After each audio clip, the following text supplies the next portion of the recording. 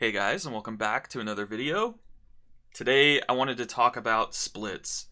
So if you've ever watched the Race to World First, uh, you may have heard them talk about mythic splits, heroic splits, um, class stacking, armor stacking, that that type of thing.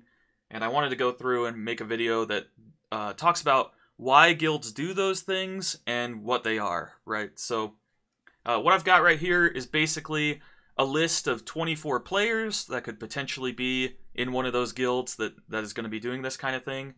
And then I've got each player has four different classes that, that they could potentially play, right? So this is something that you would expect to see in, in one of those top end guilds. They play many classes.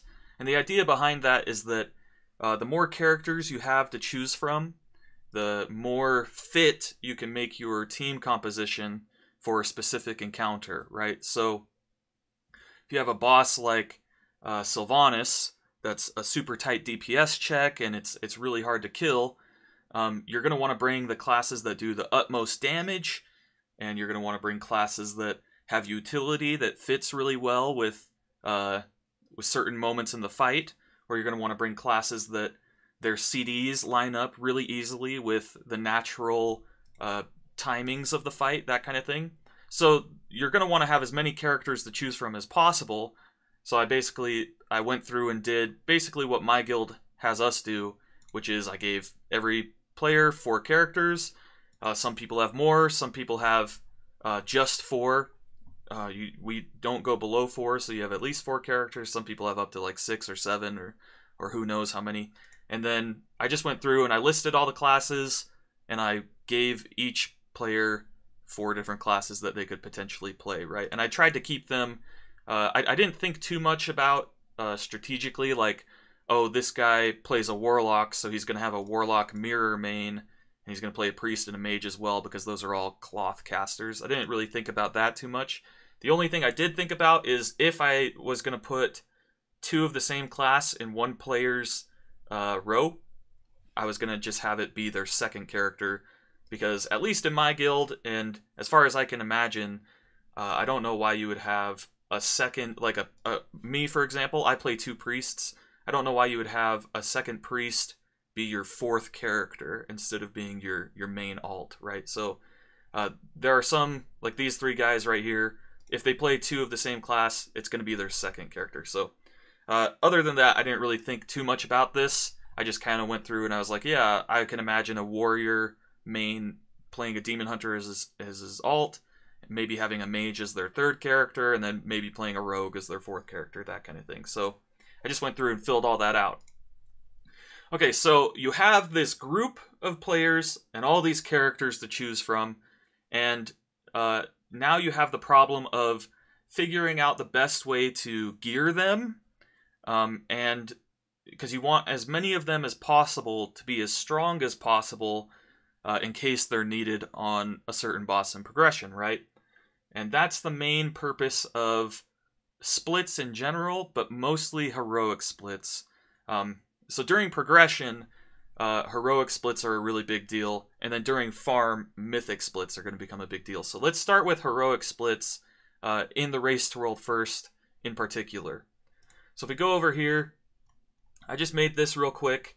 Basically, what we've got here is uh, four different splits. So if you see split one leather, next we've got a, a plate split, then we have a cloth split, and then we have a mail split. Oh, right here at the end.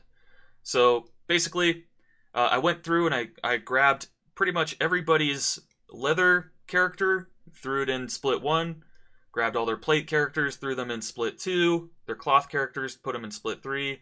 Same with mail.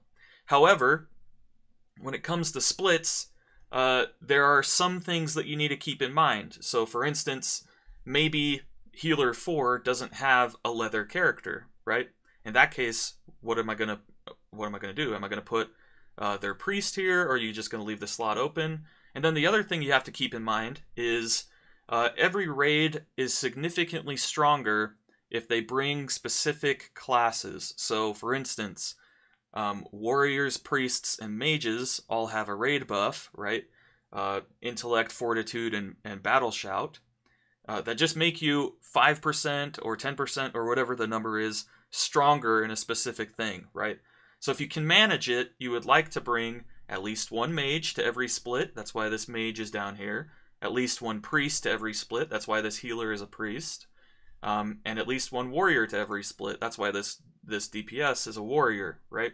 So you want those three raid buffs, and then some other quality of life things, and potentially not just quality of life. Um, there are certain bosses that you are going to have a really, really hard time killing without a warlock, for example. So maybe like Sylvanas on Heroic, if you don't have a warlock, especially during the Race to World First, before they nerfed the, the Veils, if you don't have a warlock, then during those intermission phases where you're burning the boss and she casts those Veils on the bridge, uh, you're going to have a really hard time running out of those. So you, you kind of need to bring a warlock, and warlocks bring more than just uh, the the lock gates. They bring closets to summon people in case you're swapping people in and out, and they bring uh, health stones, which are pretty much irreplaceable. So you want to have a warlock in every single split if you can manage it as well. So you got mage, warrior, uh, priest, and warlock. And then you're going to want to bring the two damage buffs. So in a split like this, a leather split, that's going to be really easy. Monk and Demon Hunter wear leather, so you're going to have plenty of them in this split. But in other splits, uh, you're going to want to make sure that you can get a Monk and a Demon Hunter in as many of them as possible, right? So for this leather split, we've covered all of the, the raid buffs, the damage buffs, all of that stuff. And then we filled out the rest with uh, druids, rogues, anything that wears leather, right? Um, and the idea behind this split is that all of the gear that drops, well, not all of it, because mages or warlocks or warriors could get gear that isn't tradable to other leather people. But the idea is you bring as many people who wear leather to the same boss kills so that a ton of leather pieces will drop. And then once you get all those leather pieces, you can either trade them between characters to try and buff, uh, to fill in slots for characters that don't have uh, higher item level leather pieces, right? Or you can just leave them on the characters that loot them uh, to allow for trading in the future, right? If you're not gonna if you're not gonna trade them immediately. So you this is the leather split, and then if we go down here, this is a plate split. Uh, these are just again, I didn't go through and think like too strongly aside from you know making sure raid buffs are covered, and then I just kind of filled it out from there. Um, so this is what a plate split might look like. You're gonna have a lot of warriors, paladins, death knights, that kind of thing. Um, and then yeah, I, I, filled out the rest. This one's got a mage. A lot of the ranged classes need to come or can come to this. You don't specifically have to have uh, every single person in every single split, right? Because um, that's time that they could be doing other stuff, right? So this priest, for example, we already have a priest in this group. This priest may or may not need to kill all these heroic bosses, especially outside of a cloth stack. Um, so maybe this priest, instead of being in this group, oh, this is an 8 instead of a 0. Maybe this priest, instead of being in this group, could be spending that time doing Mythic Plus or spending that time doing PvP, that kind of thing. So uh, you're not always going to have every single player in every single split. That just is probably not the most efficient use of time. And what you could even do is if you have enough cloth or enough plate or enough leather characters, what you could potentially do is only put in enough to kill all eight bosses for this one plate split, and then create another plate split with all the other plate characters that weren't in this one that could also kill eight bosses, right?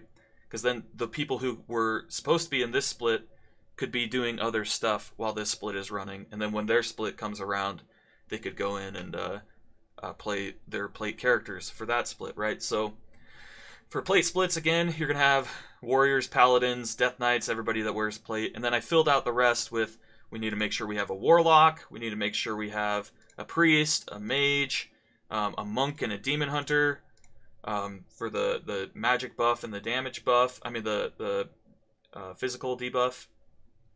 You'll notice there's no druids in here. There's no reason to have a druid in a, a plate split aside from uh, like mechanics that require druids in the in boss fights. Uh, like having a roar is really nice. Druids do bring things that would be helpful. It's just they're not strictly necessary. And then next we've got this cloth split. This is just another example. Uh, it's going to be a ton of warlocks, priests, mages, Um, this guy's on his rogue just because he doesn't have a cloth character and his other characters are in the other splits. So this is another example of somebody who could potentially not come to this split. You could take this rogue character out of it and have this person go do PvP or do Mythic Plus instead of doing this split. I just have them in here because it's their their fourth character, right? Um, and then finally, for the fourth split, this is the mail split. You're going to want to bring as many mail characters as possible. So uh, we've got a monk and a death knight tank, and then you've got a bunch of shaman healers, and you got a bunch of shamans and hunters down in the the DPS, and then you still have the warrior buff, the monk buff, the uh, where is it? The demon hunter buff. You're going to need a warlock. You're going to need a priest, and you're going to need a mage. So we've got all that filled out. We've got it all figured out. Again, this like rogue guy up here, another example of somebody who doesn't have to be here. This person could potentially go. Uh, and same with this paladin. This paladin also doesn't need to be here. Uh, they could potentially go do Mythic Plus or PvP or or even other stuff like maybe they need to grind renown or maybe they need to do Torghast. There's a lot of stuff that needs to get done, especially during the first couple weeks of the race, that uh, you are limited on time, right? So if this person doesn't need to be here, then they don't have to be, right? So this this paladin, paladins don't bring any buffs or anything that's going to be particularly important in a general uh, raid fight. Obviously, there are times where um, you're going to want to have blessing of protection or uh, de, de, uh, de, Devo Aura. Man, I, I had a hard time saying that. Devo Aura, stuff like that. So there are reasons you might want to bring a paladin, but in the general sense, they don't wear mail, and uh, we've got four other healers, so you don't need this fifth healer. They can go do whatever they want. Same with this rogue, doesn't need to be here. Same with this death knight, even probably doesn't need to be in this split. So that's what heroic splits uh, kind of look like. Again, depending on how many characters you have in your guild, and uh, where everybody is as far as gear goes, um, as far as uh, stuff they need to get done, like maybe people have been putting off their PvP that they need to do by the end of the week. Maybe those people need to not be in some of these splits. Um, all of that stuff comes into play when you're deciding uh, who you're going to put in these splits, but that's the main reason behind them. You're going to want to get the reason you do these uh, armor stacks is because you're going to have, let's say, uh, the last boss is going to need a lot of leather characters. Well, if you do a leather split like this, then eventually some of these characters are going to start filling in slots. Like, let's say this healer druid loots a leather hand off the first boss. And then, let's say by boss 7, they loot another leather uh, leather gloves. So they get leather gloves off boss 1. Let's say they get leather gloves off boss 7 now they can trade those to one of these other characters, right? Anyone else who wears leather in this group. Um, so you would do this first split, and then the next week, anybody who has slots that are filled can trade those pieces between all these other leather people, right? And the same goes for plate, cloth, and mail, right? So that's why you do heroic splits. Um, there's a lot of nuance to this. Obviously, if you if you can't kill a certain boss, let, let's say boss 8 is really, really hard, and rogues and druids are really, really weak uh, in a certain tier. If you can't kill this boss with this comp, you may need to swap some of these uh, druids out or some of these rogues or something and bring in classes that don't fit the, the armor type just to have the damage to kill the boss. There are other specific filters as well, like maybe you need uh, a bop or maybe you need uh, certain immunities for for different bosses, that kind of thing if you need those things, then you're going to have to swap out some of these as well. You can't, you're not always going to get a leather split that's this stacked with leather, right? I mean, there are like what, one, two, three, four, four, five characters that don't wear leather out of all 24 of these guys. Um, so it's you're not always going to get that nice of a split. It may be something closer to like half of them are leather, the other half are other things, or three quarters are leather, that kind of thing. But that's basically how heroic splits work. This is uh, an example of what they might look like. Uh, your mileage may vary. Some people might get more lucky, some people might get less lucky, etc., etc. That's heroic splits. Next, let's take a look at mythic splits. Um, this is something that would be more applicable on farm.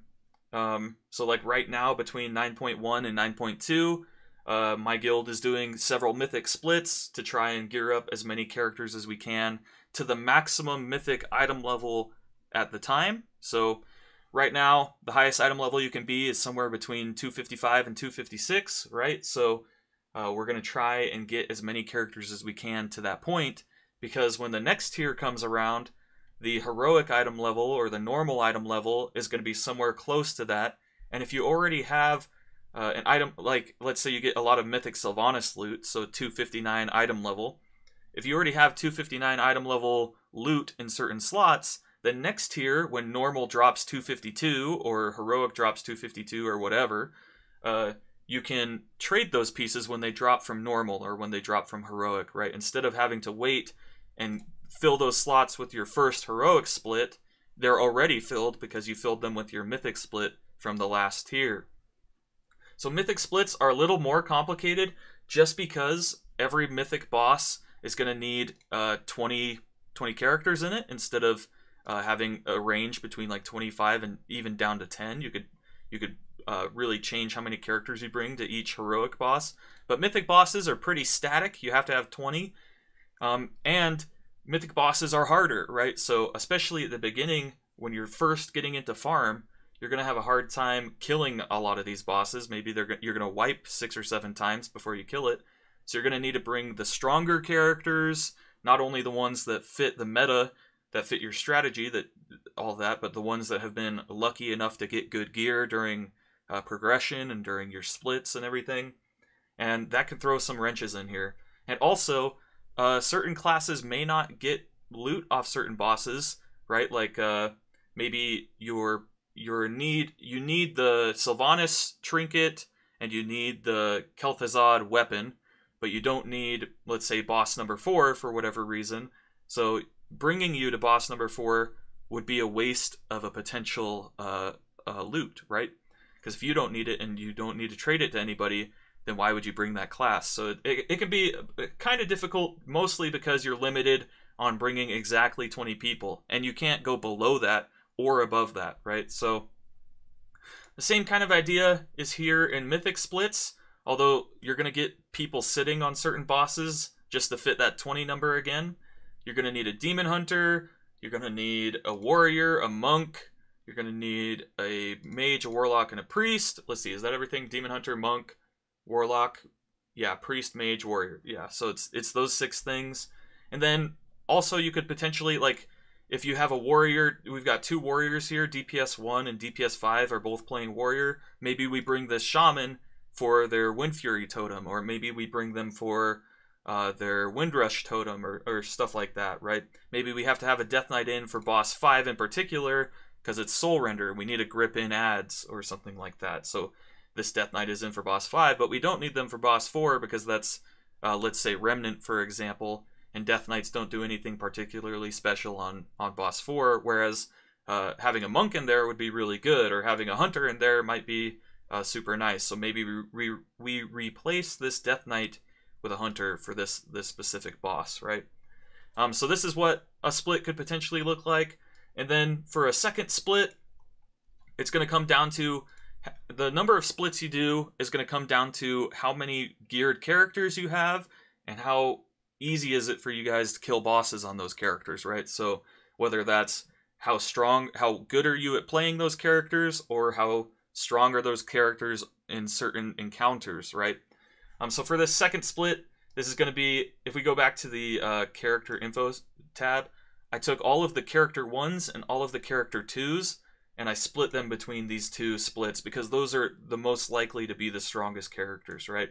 So in split two, we need to make sure um, that every boss has a warlock, every boss has a demon hunter, every boss has a monk, warrior, priest, mage, all that stuff. And then outside of that, as long as you can kill the boss, it doesn't really matter what you bring, um, just as long as it's you know it's strong enough to kill the boss and their their classes and and characters that need gear, right?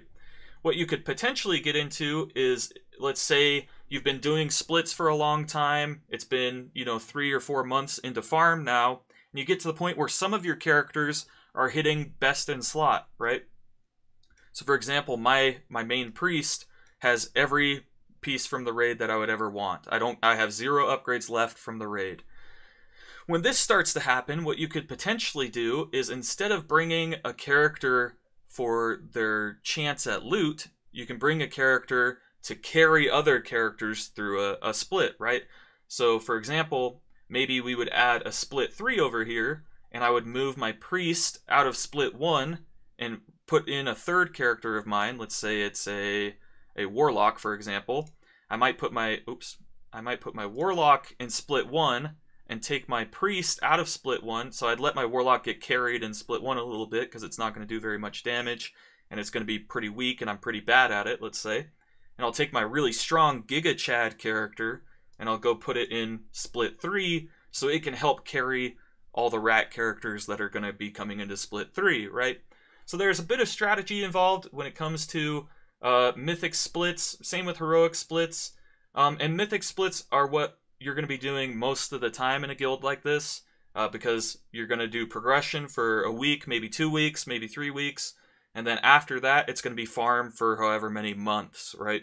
And so uh, Mythic Splits is going to be what you're doing most of the time. And then during the progression weeks, Heroic Week, that kind of thing, when the patch first drops, Heroic Splits are going to be going like crazy. But you're also going to be spending a lot more time playing the game during progression than you are during farm. So that's that's kind of how splits work. Um, what they might look like. You'd have spreadsheets like this that have everybody's character names instead of just saying warrior, rogue, shaman, that kind of thing. This would say like uh, whatever your tank's name is, and then his what his character's name is here, his demon hunter, and then what his warrior's character name is.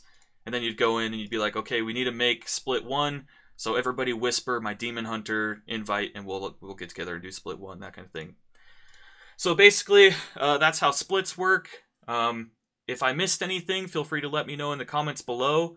Uh, if you still have questions or anything, also feel free to leave a comment. If you liked the video, make sure you click the like button. If you really liked it, feel free to subscribe or share it with your friends or whatever. Um, and then you can check the description for a link to my Discord server if you want to come hang out with me, come hang out with other people who enjoy watching these kinds of videos. So that's going to be it for me. So thank you so much for watching, and I'll see you guys in the next video. Peace!